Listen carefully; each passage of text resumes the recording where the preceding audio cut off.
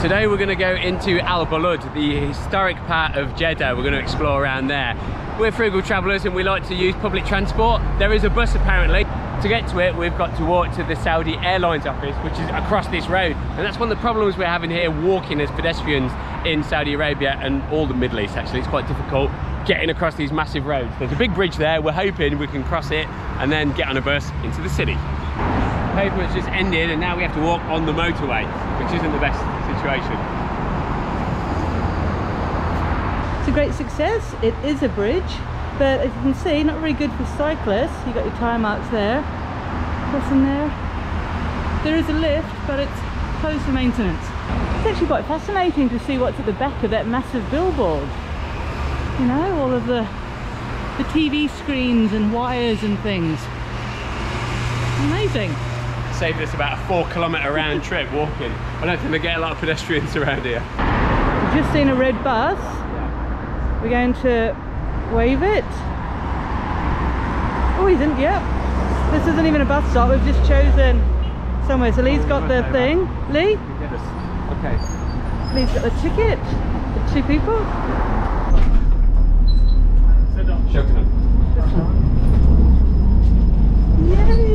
Yay! Yes, we got a bus. So we weren't sure about bus stops because we couldn't see one, and I heard that you could just flag them down. We did. Uh, we're the only people on the bus, and it's a lovely system. Yeah. Uh, three real forty-five. Um, whatever Bial. deals uh, to go into the city. So good value. So yeah, it's a lovely looking bus. It takes us all the way to Al Balad, which is exactly where we want to go.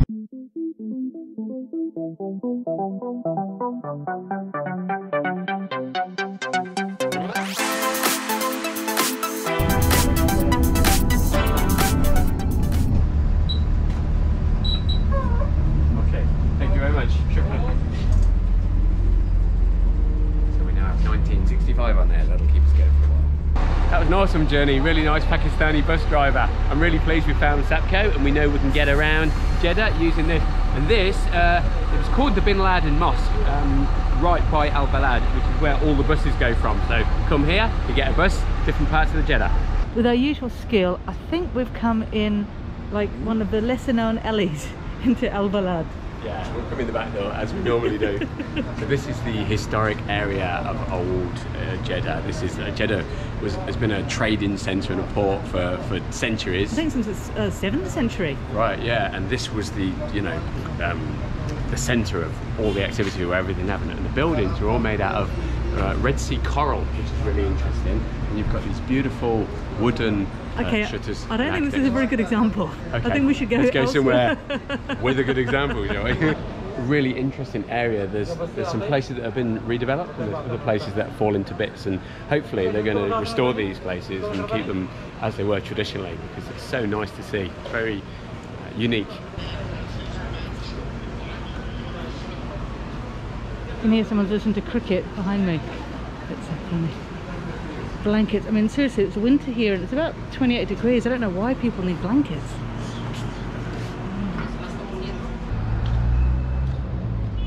This is so wonderful. We've just met these amazing guys Yeah. and look at what they're carrying. Cats. And so I checked, yeah, I checked with them. And so is this a charity? No, it's a government project. Oh, fantastic! Because I was saying like there are so many street cats, and how wonderful that these guys are catching them. They're going to go to a vet, a veterinary place for treatment, and that is so cool.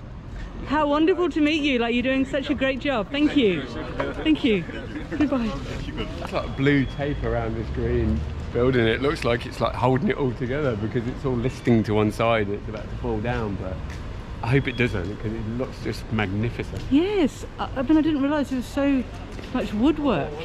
This is just a great example of the amazing lattice work on these buildings. You can see uh, they were built to like keep them cool and let the wind through. Uh, modern day windows, but without the glass. So, as I was saying before, that they're built of Red Sea coral. I think this one is here. I was pointing to concrete before. I think somehow. But well, yeah, you can see amazing the woodwork, and these ones here that they've been blocked off. Restoration. Yeah, for restoration. It's going to be so wonderful how they're redoing this old part of town to make sure Yeah, this amazingly important area like doesn't go to wreck and got to be preserved, definitely. Yeah. This is another one of the buildings, National Heritage Buildings for contracting. Let's see how far I can get in. Lovely old wooden doors. Ah, wooden roofs. Wow. Say it's a lot cooler in here than it is outside. So this is a museum here, it's been restored. And then wow, look at this beautiful building here on this side as well. That's so cool. It's just like, it really is an amazing area. And of course, because it's now like 12 o'clock, most things are going to be closed until 4 p.m. So I'm not too sure, we're going to have to walk around and try to find something to have for lunch. But we'll just soak up this lovely atmosphere in the meanwhile. So it's winter, it's about um, 30 degrees and I'm wiping away the perspiration. But one thing I wanted to say is this place, it just really reminds me of, of Kathmandu. When like, Lee and I first met in 1996 and we used to walk around the, the beautiful old area near the Royal Palace that was mainly destroyed in the earthquake. It feels like that, like the beautiful buildings behind, white and with the woodwork, Mm, just yeah. really lovely.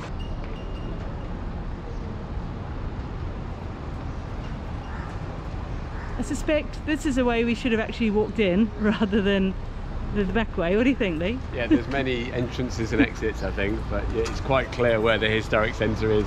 Just aim towards the beautiful buildings. And the construction work. This is the Bait Nassif museum, very important one because it was the house of King Abdulaziz back in the day, and apparently. Uh, the tree outside, it was the only tree in the whole of Jeddah in 1920, according to the Lonely Planet. Wow. Unfortunately, the museum looks closed at the minute, doesn't yeah, it? it says it's 25 to go in. Uh, should be interesting to see inside, but the door's closed. Who knows how long it's closed for? So many lovely kittens. Oh, I hope you get some good treatment, little one. This is amazing. It's actually incense. As we walk up along here, hopefully there's going to be a couple of places open. Oh, these guys are just Hi, closing now. welcome. Hello, how are you? Oh, I smelled this one before. It did smell amazing. Is it saffron? Incense Luban. Uh, one thing to take note of is that everything shuts down at around about midday here and it's dead for five hours until about 5 pm. So if you want to come shopping, come later in the day. If you want to come for quiet streets and so to take some photos, come in the middle of the day. This is another amazing looking alleyway. Can you see the angle? Like how much it's tilting. That's about ready to fall the look of things, isn't it? It's just- Yes. And this is definitely, I'd say, Red Sea coral behind you, Lee. Yeah, you can see, yeah, definitely the texture of it. Oh, look at the lovely uh, intricate carving work on there. there. I bet these facades would have been covered in it back in the day. I if it meant anything. It smells like this whole thing is ready to come down. Probably should move away. Wow, another beautiful building. This one looks as though it has had work done to it. Looks a lot more stable.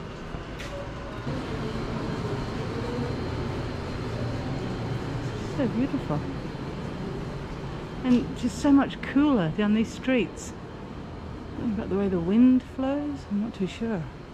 And to even further like the resemblance towards Nepal or Thailand, it's a cycle rickshaw. Oh my word, that's so cool.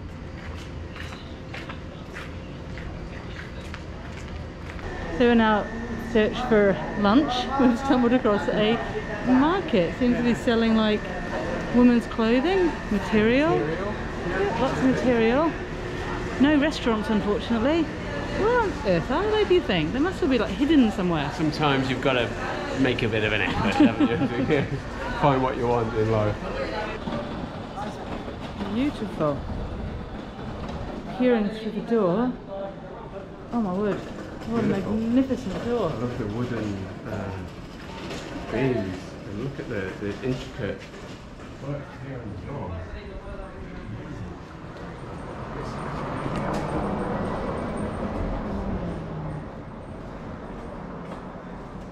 Wow.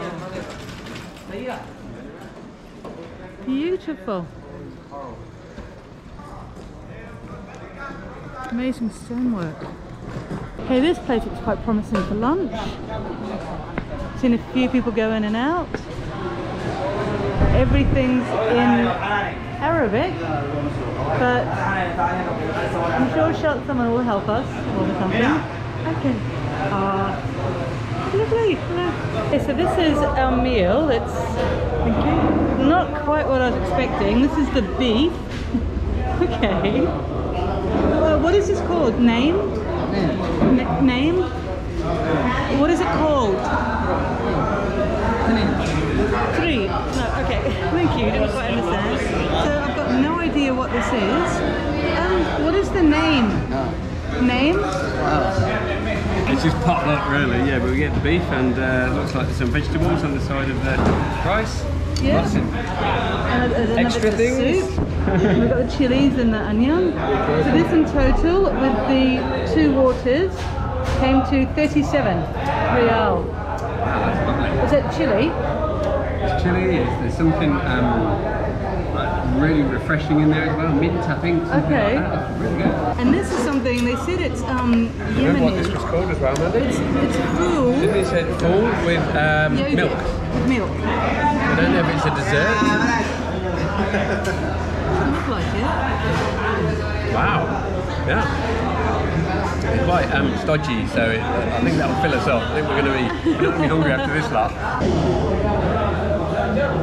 So they've just brought us some more um, pickle. It was like another dish that we didn't quite expect, but Got a table full now, haven't we? Yeah, oh, it's lovely. What do you reckon? It's a lovely plastic spoon, so you eat with your hands mainly, so you wash beforehand. But um, like I'm the only female in here, and we're the only Westerners in here. So very, very local. Yeah. It's delicious actually. With all these lovely flavours. Um, this might be like a green chili. So you know, a green chili.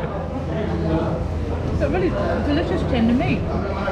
I'm not sure if it's beef or lamb. What do you think, Lee? Beef, I thought. Okay.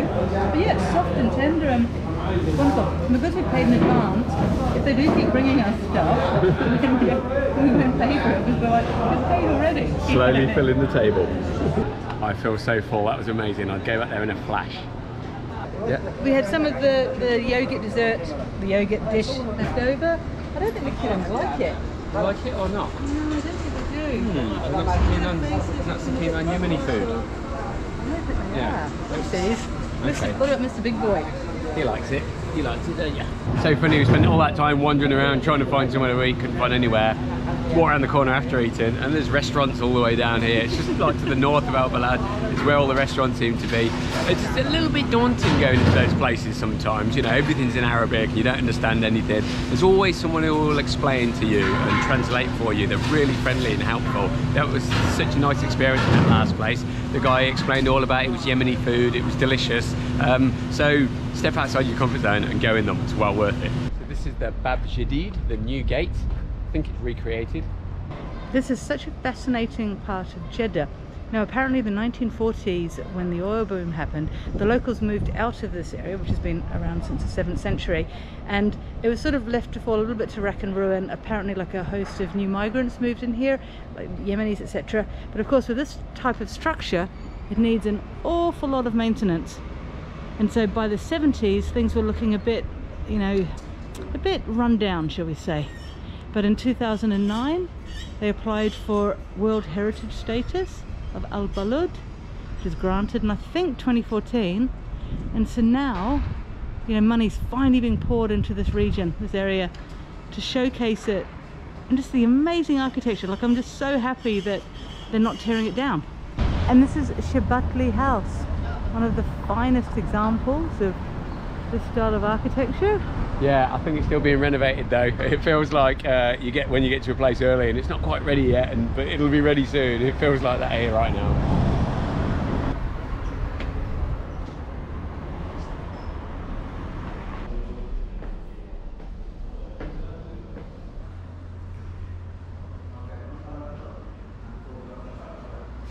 It's like the Shabbat a merchant family. I saw downstairs that they produced uh, fruit. I don't know if they sold, sent it around the world, but obviously it's a wealthy merchant's house. Beautiful condition. Lovely airy balconies and the woodwork. Awesome. We'll just keep wandering around and see what we can see because we haven't. Yeah, they're filming there apparently. I don't know if they think we're part of the film crew, but we've got in anyway. Uh, and we haven't paid, which I think normally there's an entrance fee. I don't know. It seems empty, so it's a museum in the making maybe. Let's just enjoy the, the house until we get kicked out. Yeah.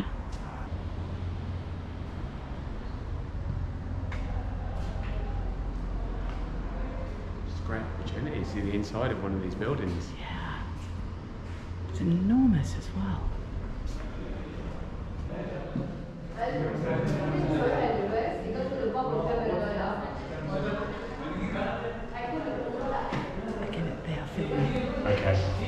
Can't go any further.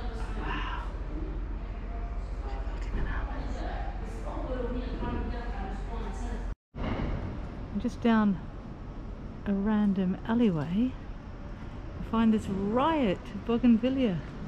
Can you see? It's just covered all over there.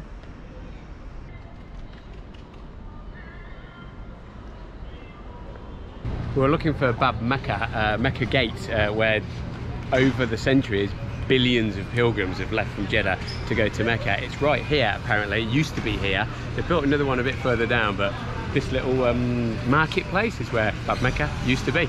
Wow. Let's see if we can find the, the new one. Wow, look at all those herbs and spices and Arabian coffee. More of that amazing incense. I mean, it looks like candy, like sweets, but oh, I think this is frankincense. My kind of place. Oh my word, look at all the chocolates.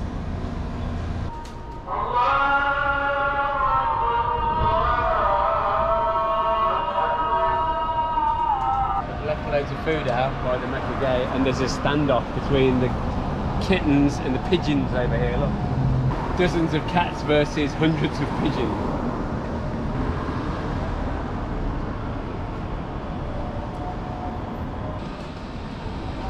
It's like someone had the same idea. Bring the leftover lunch out and leave it for the cats. So behind me is the recreation of the Mecca Gate, the one as Lee said earlier, through which billions of pilgrims would have passed over the past 14 centuries. And the Mecca Gate and it's Mecca is 80 kilometers that way. Wow. Shape of the coral. Incredible. And we're on the hunt for karak.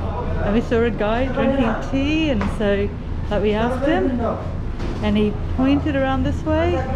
Oh and look at this. Lee's joined the queue. Yes, we found the place for your carrot cake.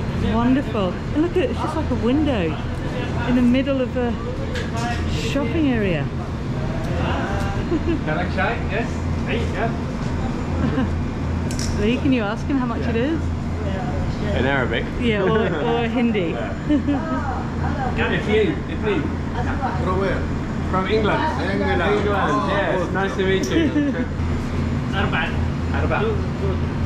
Did you order two, Lee? Yeah, yeah. Two. Yeah.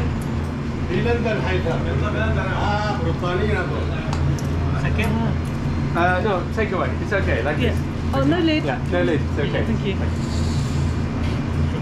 Okay, shukran. You go, two each. We're sorted for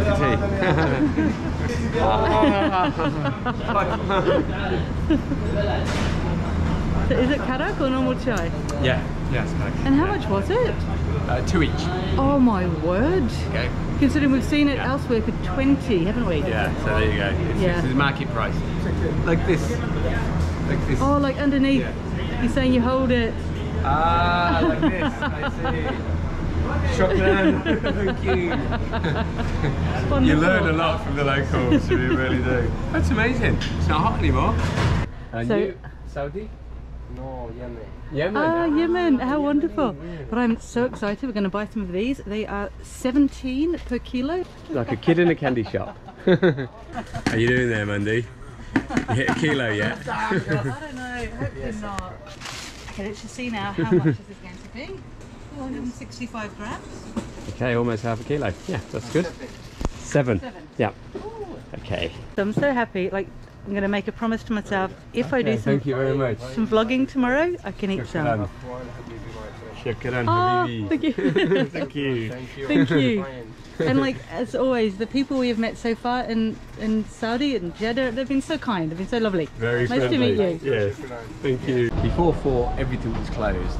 From four o'clock onwards, it all started opening again, and we're discovering more and more stuff. There's a lovely little samosa place here. I bet they're really Yeah. good value as well. Wow. So fresh and crisp and tasty. If we weren't so full from our oh, huge Yemeni We'll buying loads more snacks. yeah, and our two cups each of chai, yeah. It's chocolate time now, isn't it, Andy? yay. The things you miss, you know, first time round. I'm just looking at this house now, this property. It's incredible. Just standing there all on its own like a little tower. It's Ready to fall down. got a bit of a lean to it. yeah. Wow. We're going to see how much busier everything is now and so many more people Really, around. really coming to life. Yeah. Oh no, these, we've seen people, Yeah, they chew these. yes, Um, It's it's like- for cleaning your teeth, isn't it? amazing. Oh, look at this, it's like a tower of dates. So many types. Where do you start? I'm not too sure because there are so many varieties that Yeah. we've just never tried. This very kind gentleman has just given me Medjool. Medjool. Yeah, these are the famous ones from Medina, apparently. Which were really good. They're, the ones that don't have a stone in the middle. They're probably the most expensive. Nice, aren't they?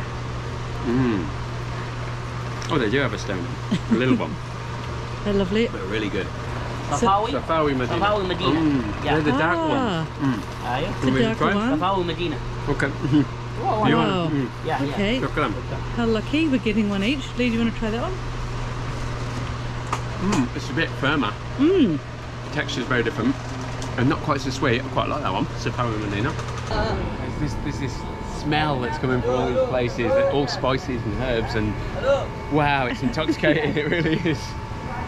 Look at them. They're so beautiful. Cardamom. Such a major component of our delicious karak chai. Oh, this tiny little, I think that's Yemeni garlic. The one that grows as an individual clove we learnt about in Riyadh. Yeah. That's brilliant. But oh, it just smells so beautiful. This is the way to buy spices, not the way we buy them at home in a in a little sealed packet. The fan's going and it's just not blowing anything at all. Oh wow, and here you've got all your different types of grain. Your corn and your lentils, your different types of dal. It's just wonderful. Love markets like this. Colourful and aromatic, should we say? Oh my word. Over the hazards of travel vlogging. Oh, what it says. Hey, you can take it, I'm not going in it. This is inside one of these buildings that might get torn down eventually, but this is what they're like. Wow. The lovely old ceilings, look. Old beams. Incredible. Small rooms. Yeah, that's what it looks like inside. Looked a bit scary in there. Uh, yeah, it's probably not a good idea because things are falling down. This one's not too bad, but some of them, they're obviously kind of past the point of no return. Oh. Yeah. Fun though. Yeah, it's just so wonderful to see all of these buildings open now and, you know, people walking around. It's not just us and the pigeons anymore. It's really cool. Wow. Lattice work. Now, Lee's done some very good map reading and we think this is Matbouli House, which is another house that's open as a museum, so you can take a look inside. I believe it's 10 uh, real to go in. I don't know, I haven't been in. I don't think we've got the energy for any more internal searching. We're just going to wander the streets, but this is a place to look for.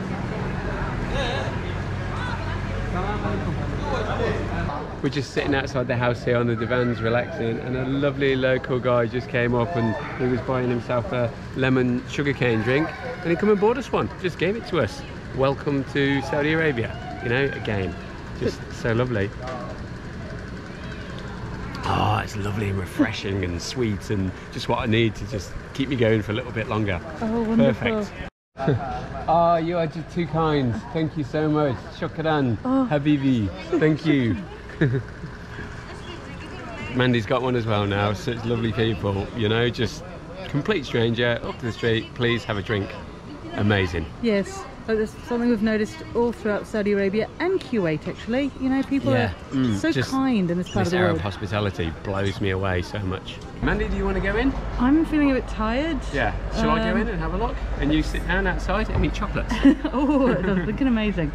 So Mandy's going to chill outside while I go for a walk around. This house is 422 years old, which is just mind blowing. Really, it's in such good condition, and this is an example of what ones that are well looked after looks like after my recent incursion into one that is being renovated. Look at the doors, beautiful, and the top there. And this is uh, probably a divan, like the uh, lounge area where the men would sit down. Lovely old furniture. And there's this smell, the incense that's burning. Oud.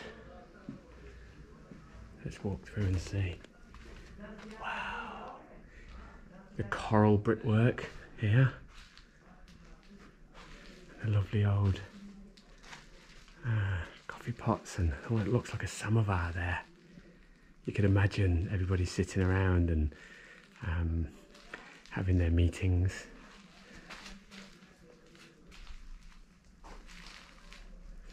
It's just this, this just this atmosphere in here which just is mind blowing. 422 years history right here. And as we step up, you can see how high the roof is. It's massive. And the intricate carving there around the top of the archways. So much work would have gone into this. It's beautiful. Glasswork there, looking back down. Magnificent.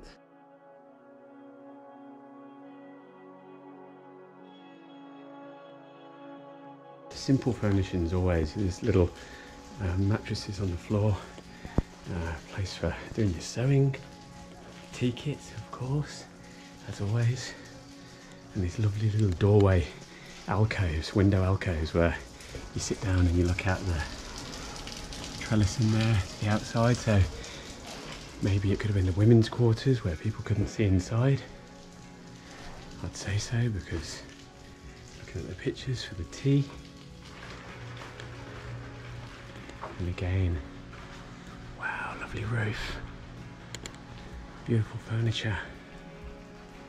And the carpets too. And coming through the bedroom quarters and bed would be a, just a mattress on the floor with a mosquito net over it.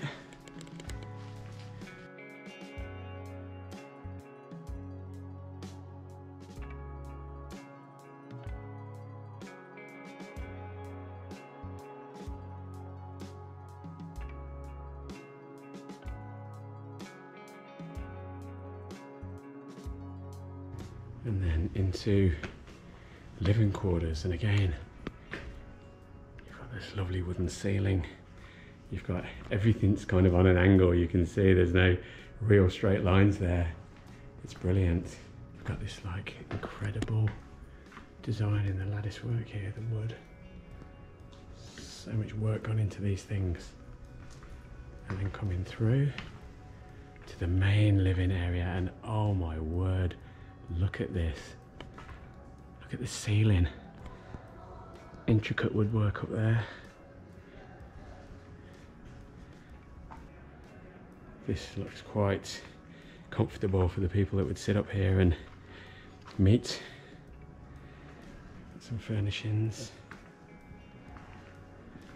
And then this wooden alcove Just absolutely beautiful with a step up to what looks like an office.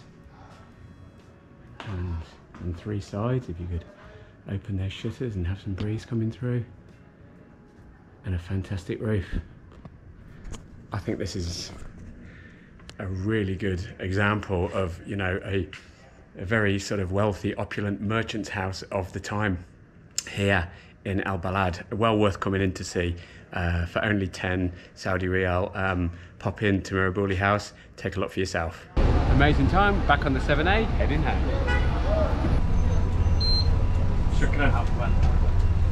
But it's just Yeah. arrived, so It's that's like what we're they'd being be. chauffeur driven in our own limo. How about that? Wonderful. And hasn't it been an amazing day? awesome, like really interesting Al Balad. I've really enjoyed it. I'll definitely come back and explore more around this place. It's just breathtaking everywhere you look. And the hospitality, the kindness we've been showing. Just uh, blows me away. It really does. Everywhere we turn, it's welcome to Saudi Arabia. People wanting to help us. Love it.